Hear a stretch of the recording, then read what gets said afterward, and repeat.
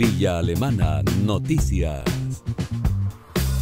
Con el fin de buscar una temprana estimulación psicomotora y lingüística de niños y niñas que participan del programa de protección integral a la infancia, Chile Crece Contigo, se llevó a cabo la primera muestra artística del programa Salud de la Infancia del CESFAM Juan Bautista Bravo Vega, del sector Troncos Viejos de nuestra comuna.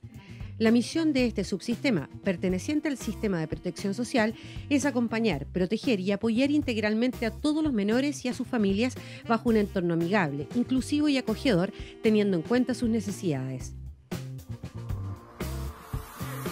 Con la presencia del alcalde José Sabat, dirigentes y vecinos, fue inaugurada la nueva sede social que albergará la Junta de Vecinos Valles de Marga Marga, compuesta por 257 viviendas del sector sur de nuestra comuna.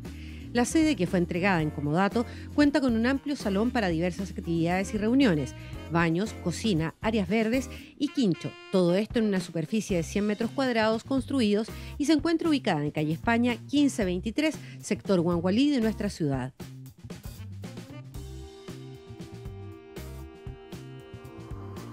Con la presentación de los grupos Los Branders y los Nos Bemoles, comenzó el ciclo de conciertos de bandas locales denominadas Música de Acá, el cual busca promover y potenciar artistas para que así los talentos de nuestra comuna tengan una auténtica proyección.